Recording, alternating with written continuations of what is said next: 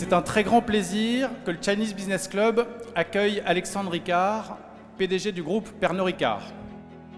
Alors notre vision en Chine est en fait euh, de proposer le portefeuille de référence des spiritueux premium aux classes moyennes chinoises.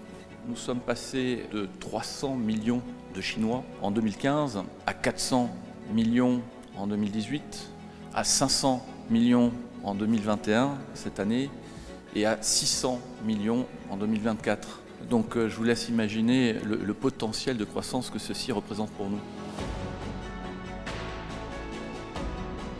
Il y a une alchimie très particulière entre la culture de Pernod Ricard et la Chine, et c'est autour de la convivialité. Euh, les, Chinois sont extrêmement conviviaux, ils adorent être ensemble, ils adorent discuter ensemble, ils adorent sortir, ils adorent célébrer. Euh, là, en ce moment, il y a le Mid-Autumn Festival, le Chinese New Year en Chine, c'est quelque chose de formidable, et c'est ce qu'on sait faire et c'est ce qu'on aime faire, et ce sont les mêmes valeurs chez Pernod Ricard.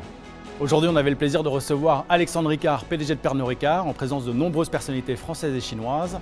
Prochaine réunion du Chinese Business Club le lundi 8 novembre en présence de Nicolas Sarkozy.